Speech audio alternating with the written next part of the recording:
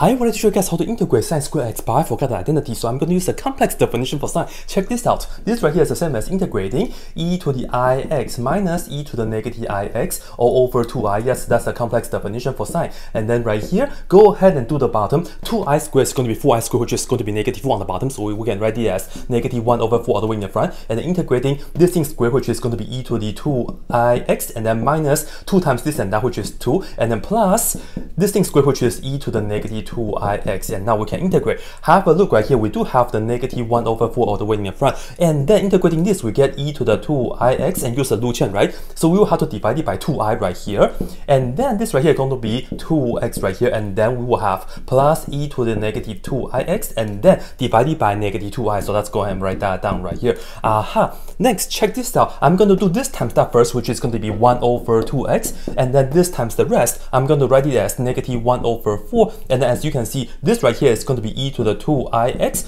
and then minus e to the negative 2ix and then over the same denominator, which is 2i.